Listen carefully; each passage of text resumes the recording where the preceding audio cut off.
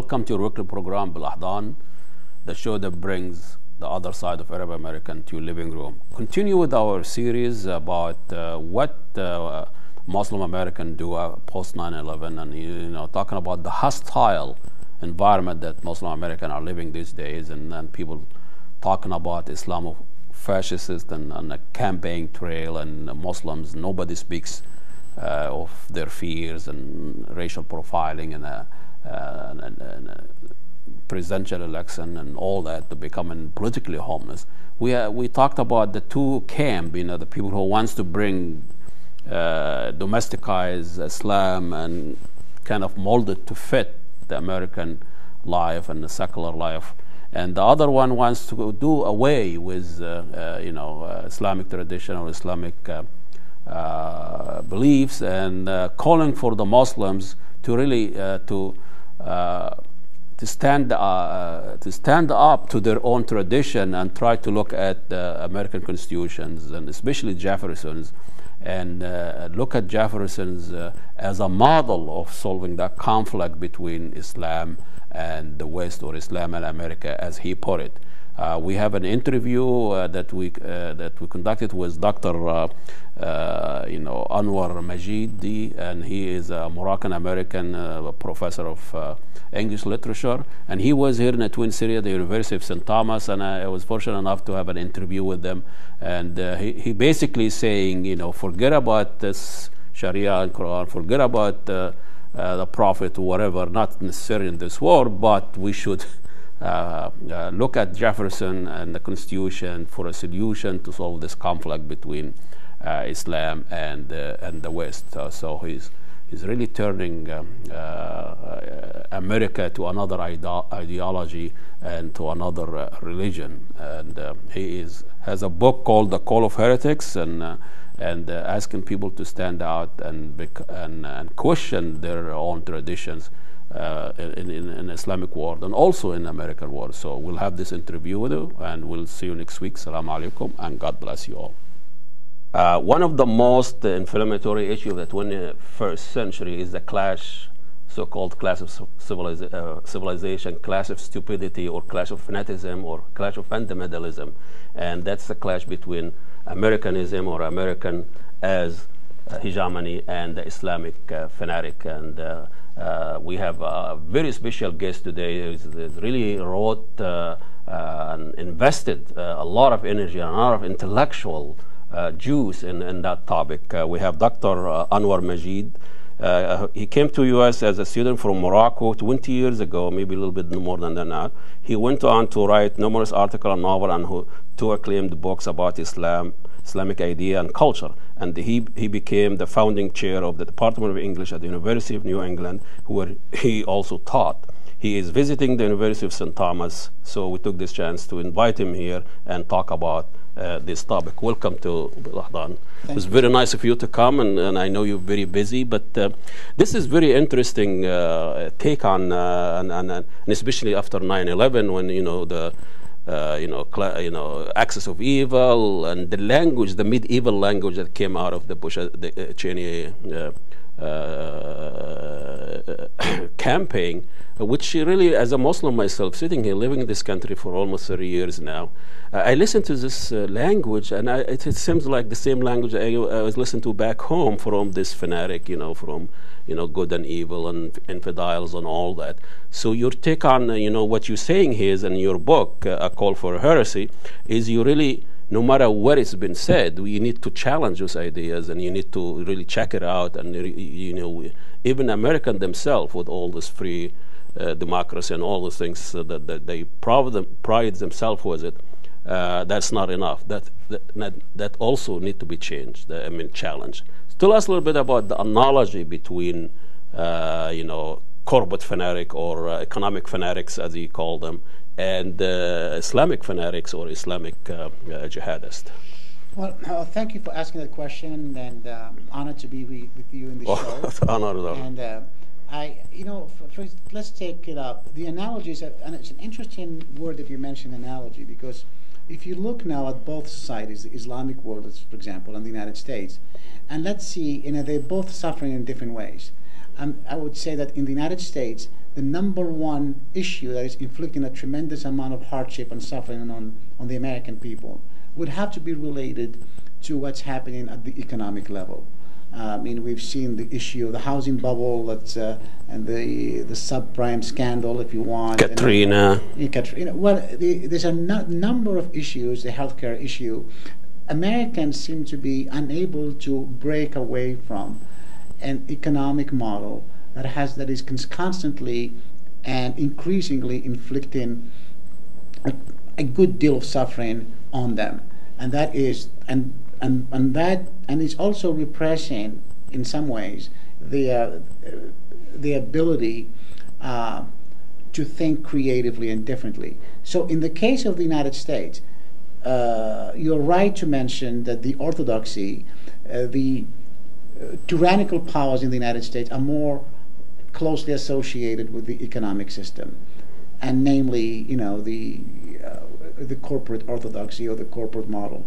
In the in the case of the Islamic world, even though Muslims also have a lot of economic problems and they suffer the same from the same uh, deficiencies of globalization, uh, on, but more importantly for them is that Muslims have not been able to break away, to liberate themselves intellectually from religious orthodoxies that are being constantly maintained and uh, and uh, hammered uh, on them by by by a, the collusion of uh, political establishments and very traditional, uh, backward-looking religious institutions.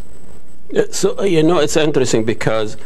Uh, the criticism to the economic uh, model or the economic uh, reality or orthodox or fanatic, this is what the free market capitalists pride themselves that they solve the material uh, problem for a majority of people. And uh, I've always thought, uh, you know, the difference between our part of the world and our part, we all uh, controlled by generals. Here we have General Motor, General Electric, General whatever, uh, General Electronic, and General whatever. Yes. And we have General Saddam, General Mubarak, General. They all so yeah. they're all general control. So the, the, the, economic power controlling the political system here, mm-hmm. but here other there it's the other way around. Yes. The political power controlling the economics. That's true. And and it's the interesting way the interesting thing about both models. systems or models, the ones you're talking about, is that they uh, they are both purported to solve, you know, the perennial human problems. Mm-hmm. In other words, you know, you know, economic. Let's say the corporate model you're talking about in the United States. It's it, we are supposed to believe that that's a solution, uh, and and that and that's a solution to human to human uh, misery, for example, mm-hmm. or, or the lack of freedom. Mm-hmm. And in the case of the in the case of the Islamic world, you know, religion is supposed to be the answer to what is to what we are lacking. And they say the Islamic is uh, is, is a solution. Yeah. So capitalism or, or corporate economics is the solution in the United States. Islam is the solution in in the, in the Islamic world. But don't you think that the, the economic uh, solution that the free market capitalism came up with is backed by intellectual stagnation too? Because you cannot just have an economic system without an intellectual, like yeah. the theory of uh, invisible hand. I mean, they have the invisible. I've been looking for this invisible hand for 30 years. I've never seen them at. We, we spend, uh, you know, uh, 900 billion dollars on pornography, and I don't know what that invisible hand has something to do with this. And and you have somebody have PhD, all his work yeah. is to see if the lifesavers uh, that the child is turned it uh, upside down, or he put his tongue in. And so it's a wasted intellectual resource mm. for just uh, for consu- consumptions uh, yes. of uh, consumer, like artificial profit and artificial needs and all that that the economic system is providing us. In the same token over there, you know, you have a system uh, of stagnation based on, you know, as you, you say, there is a stagnation of their ijtihad and thinking, and there is no dissent, which create the, the, the economic uh, reality that they have. So that both are connected in a way, That's aren't right. they? And, and it's very interesting that you mentioned the invisible hand. By the way, that phrase is mentioned only three times in the entire body of work of Adam Smith, and mentioned. It's usually taken out Casually, is it, is it actually like It's- a it's- casual description or really in a core? it's related to astronomy, but but anyway, it's a, it's that's that requires another extensive Another show. okay, we, we were talking about uh, the invisible hand that Adam Smith uh, is providing us, Mm-hmm. and he's talking about there is a stagnation also. There is no heresy there because nobody questioned the invisible hand, and in fact, it was you know he did not solve the poverty.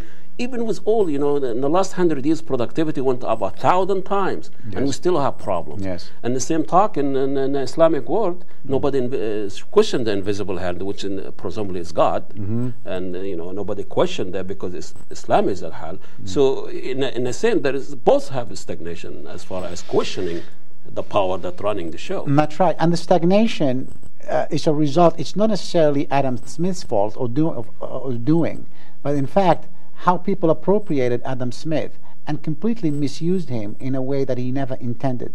For example, the notion of the invisible hand, which is mentioned, which is very often mentioned as a as a justification for corporate excess or or the uh, freedom of the markets.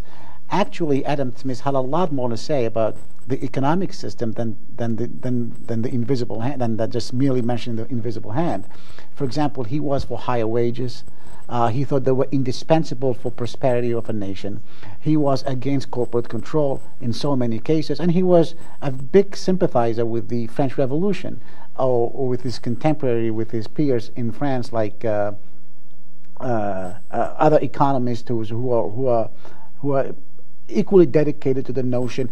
He was actually the one thing that he was against is the state's intervention in controlling agricultural uh, uh, products, particularly uh, corn. The issue, the big issue, because that led to starvation. You know, Condorcet. Inefficiency also. Yeah, Condorcet was the big proponent that in, of that in France. He also talked about uh, free trade. Uh, you know, he was against state intervention because the state, you know, caused more problems, and in fact, led that those interventions led to starvation. But it was only one instance in which they were against state intervention in the economy. But for the most part, they were they, they wanted the state to intervene to create to balance the economy, to make sure that people are getting higher wages, and to make to make sure that there was no corporate control over the economy. But none of this is now mentioned uh, in the dominant economic discourse. The culture Yeah. of uh, free market. Yes. If you come and question this, it, it seems like if you go and uh, questions hadith or a prophet saying. Yes. But wh- what I'm saying is very interesting because when I watch Al Jazeera, when I watch the other channel, there is a huge debate in the Muslim world in a very serious matter. I don't know how That's right. massive in the street and the culture itself, but you get people talk about serious questioning that facing Islam and the Shia and Sunni questions and uh, you know what Islam think of suicide and what Islam think of violence. And you hear all this about what the text says, but here nobody's question why the 9/11 people uh, you know that hijacked did it, why this is happening. Nobody's question why uh, you know the free market uh, did not deliver to a lot of millions of people who are under poverty and African America still uh, you know living uh, you know nothing really a major uh, change in happening. And but are we are we are we comparing that stagnation in a, in a quantitative way or uh, is there a hope in the Islamic world that that you can see it from your traveling now where people start really raising those questions uh, and, and saying you know we really a end here we need to find a, a different look at Islam That's true. The, when, whenever orthodoxy is so powerful and so dominant, people over time use the tools or the capacity to question it, and it becomes like a deity, like a god. That's why it is not. That's why the key word to remember is always orthodoxies, not necessarily religion. You know, in one in one country, in one society, in one in one place, the orthodoxy could be religious, of a religious nature. But in another society, it could be of an economic nature, even though there's a lot of overlap and I- a I lot of things in Uh-huh. common. So it makes better sense for me to, if I'm comparing the stagnation in two societies, one in the West and one in the Middle East, and so on and so forth, is to look at the forces that make each society. Uh, uh, which undermine each each society individually. So, in the case of Islam, in the case of Muslim societies, clearly we haven't been able to break away from the uh, you know the traditions of the past, and we haven't been able to think creatively about the future because of the incredible hegemony of the religious forces on and uh, uh, on the social fabric. In the United States, uh, one can have a polarity of religious beliefs, but the one sacred element in the United States is the economy. Any time, any attempt to deviate from the mainstream economic system, which is upheld by the corporate powers, you know, puts you in the place of a heretic in religious societies. Look at the bit about uh, universal health care. Yes. My goodness, it's like an evil concept which is, is applied in most of industrial nations, you know, yes. in Europe and Canada. But they debate it here as like a social conspiracy against uh, Americana right. that we're going to have a social, uh, you know. Uh, but uh, you know, we when we when we uh, you know we talk about uh, you know in the last maybe it's not just even post 9/11. Islam under the, the microscope yes. and, and, and, and scrutinized and seized mm-hmm. by coming and try to answer questions that presented by modern life and modernity and I don't see that like uh, now we hear on, uh, on, uh, an election trail Islamo-fascism. Mm-hmm. A term it is terrifying me. Mm. I've never heard this term before, yes. and, and, even you know technically and academically and socially and morally mm. wrong. Yes. And it's been accepted and circulated through the media, mm. and nobody's questioned that. Yes. And what what I'm saying is, Islam as a religion is the only religion been questioned to answer. What do you think of homosexuality? Why do you marry four? What are you? What, we don't ask, ask, Judaism and uh, Christianity the same questions. Mm-hmm. And what, if you don't like Islam, try Christianity mm-hmm. and see what happens. So what what is the world would would, would be look like without Islam? Mm-hmm. It's a question that with that it would have to be invented. I mean, actually, a lot of modern Islam was the result of modern forces in play. You know, yeah. I mean the the uh, the Taliban and. Was communism now is Taliban, whatever. Uh, all these forces were the result of modern practices. You know, they didn't exist. Afghanistan historically, and so was Pakistan. Other were more, more Sufi than they were Wahhabi yeah. fundamentalists. Uh-huh. So the big question to ask: How did the societies become more uh, adopted a Wahhabi type of ideology, and where has where has Sufism gone in these societies? And there there are explanations for this. There are explanations for this, and there are more. You know, one could find explanations. You don't have to go back way back into history to find an explanation. If you went back three decades, you would find plenty of reasons why these societies have trans- changed from gentle Sufi folk into like. Um, you know, uh, sword waving, yeah. uh, Darwish. Fun, fun, fundamentalist. So there are historical forces that can explain what happened in these societies, and there's a reason for that. Uh, and so Islam, like and a belief system, a religion, or is always can always be changed by historical circumstances to look differently at at, at, diff, at different historical times. So, but the combination of Islam and fascism, uh, the implication here is that Islam is not an open system. Uh, it is it persecutes those who do not adhere to its tenets, and therefore it has a tendency to tyranny, and, and hence they use the word fascism to go. Well, I can it. understand Muslims fascist, yes. not Islamic. I know Islamic culture, Islamic, yes. but Islamic. do we have the combination of terms doesn't work? I mean, you could say every every ideology has a tendency towards fascism in the sense that that it can it tolerates it doesn't tolerate dissent it doesn't tolerate difference and so on but uh, but you cannot have you cannot say Christian fascism or you cannot say cap, you know capitalism fascism because cap, any ism in itself you know implies a, a form of so it's redundant in a way rigid ideological boundaries. Uh, so yes, I mean ideologies Muslims can be fascist. Ideologies have a tendency to be in closed systems only if people allow them to be closed systems. People else can open them up again and make of them very elastic, flexible so ways of thinking.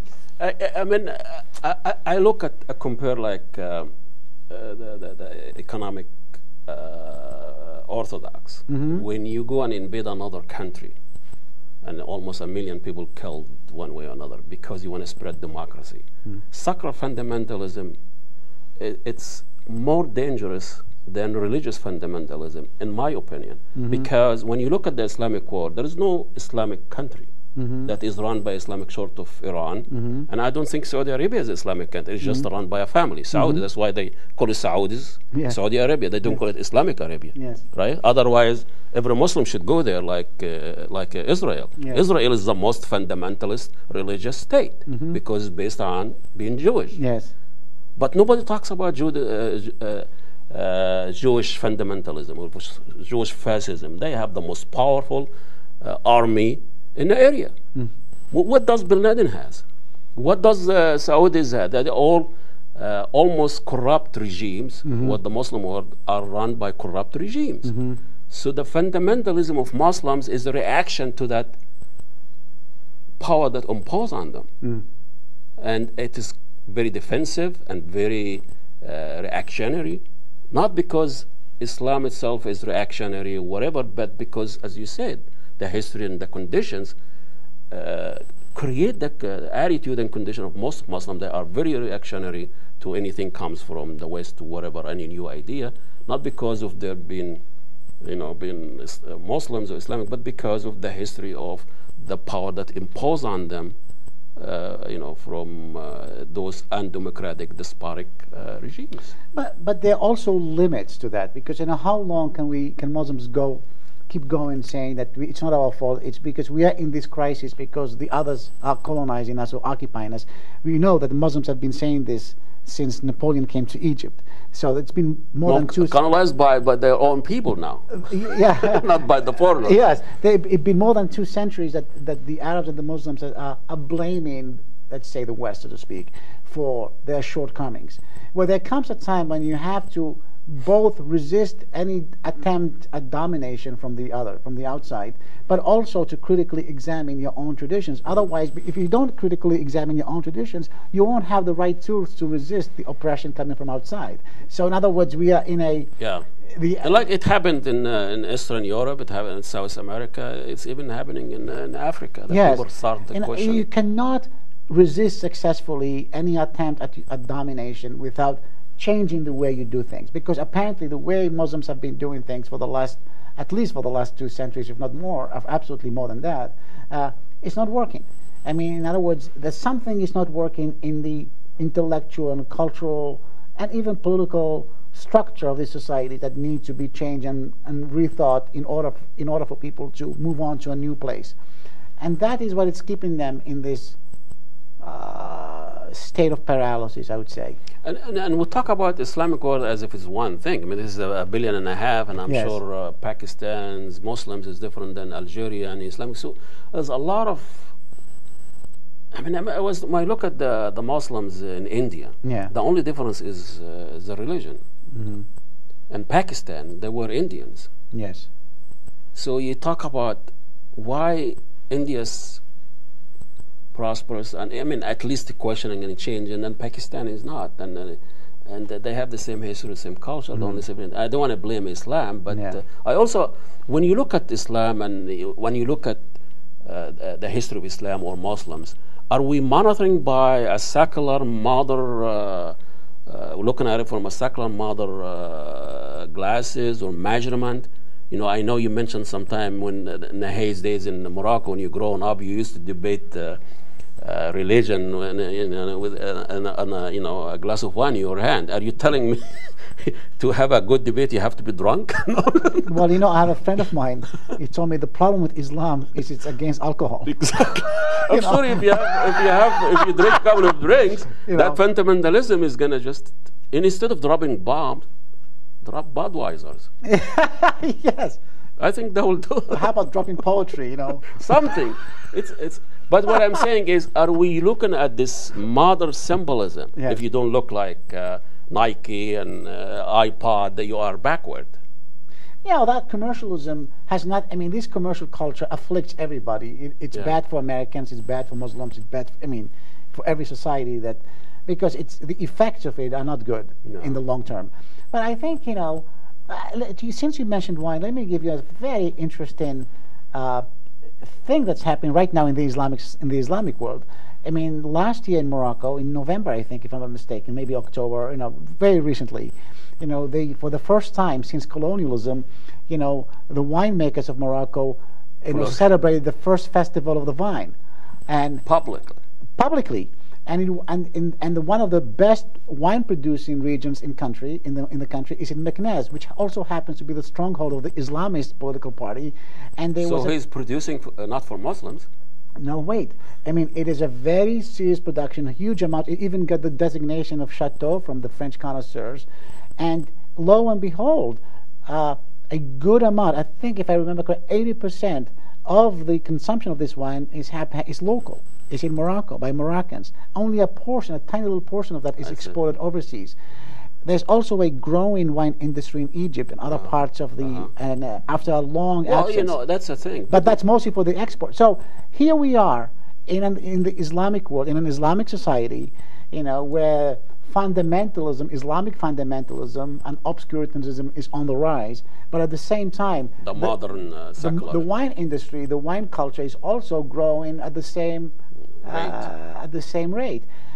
And another interesting fact, which I cannot tire of mentioning.